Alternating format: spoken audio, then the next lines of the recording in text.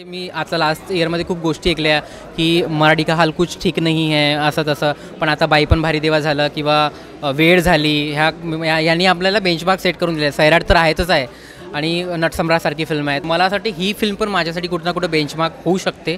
मी तेवढे प्रयत्न करतो आहे बघूया माझं डायरेक्शन झाल्यानंतरच तुम्ही मला जज करा काय होतं. मी या फिल्मची स्टोरी काहीतरी आपण वेगळं करतो आहे हे नक्की आहे. लोकांसाठी हे रहस्यमय कहाणी आहे एक.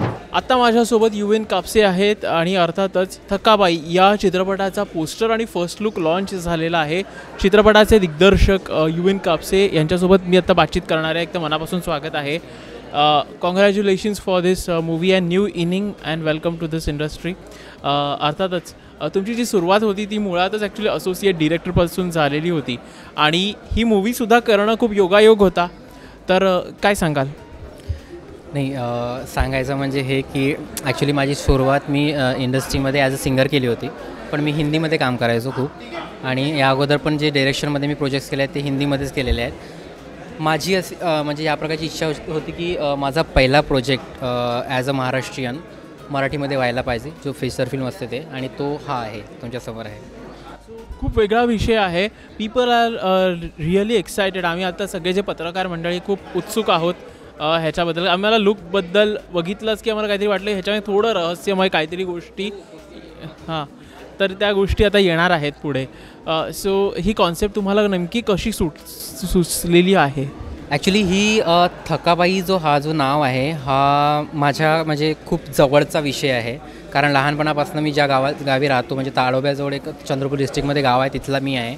आणि हा थकाबाई माझ्या गावी एक तलावाचं नाव आहे बेसिकली आणि ते लहानपणापासून खूप आम्ही त्याबद्दल म्हणजे रूमर्स म्हणा किंवा सस्पेन्स काही असं थ्रिलर मिस्ट्री वगैरे काइंड ऑफ आम्ही स्टोरीज ऐकायची. की माझे पप्पा स्वतः फॉरेस्ट ऑफिसर्स असल्यामुळे ते आम्हाला जंगलातल्या स्टोरीज सांगायचे.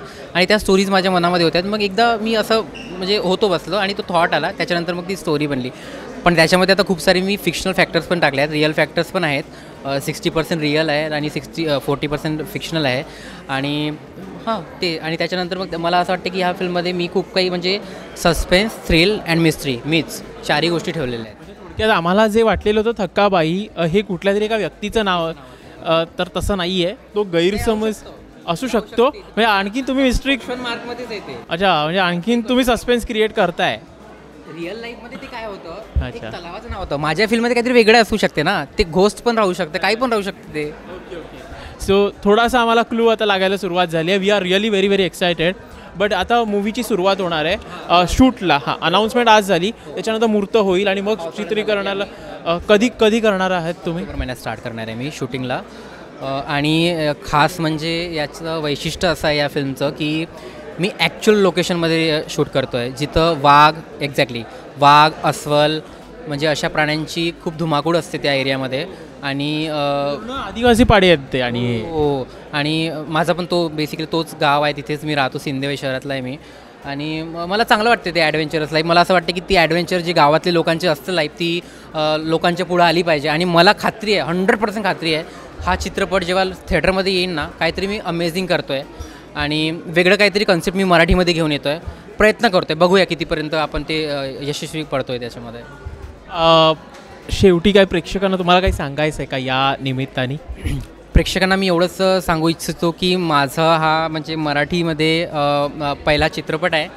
आणि मी काहीतरी वेगळं काहीतरी म्हणजे मला असं म्हणतात ना की आपल्याला खूप म्हणजे मी आता लास्ट इयरमध्ये खूप गोष्टी ऐकल्या की मराठी का हाल कुछ ठीक नाही आहे असं तसं. पण आता बाई पण भारी देवा झालं किंवा वेळ झाली ह्या यांनी आपल्याला बेंचमार्क सेट करून दिले. सैराट तर आहेतच आहे.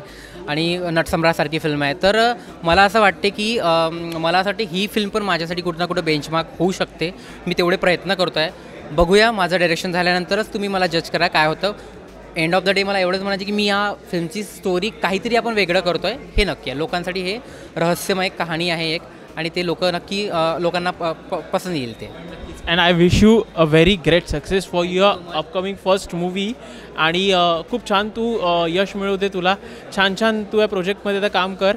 आणि I wish you all the best and thank you so much तुमचं पण खूप आभार. माझं पहिल्यांदा मराठी मीडियाशी इंटरॅक्शन होत आहे. आणि तुमचं नाव काय? सागर ना? माझं नाव सागर. सागर. सागर दादा तुझं खूप आभार. अल्ट्रा मराठीचं खूप आभार. कारण तुम्ही खूप पाऊस आहे. मला स्वतःला यायला पाच ते आठ झाले इकडे.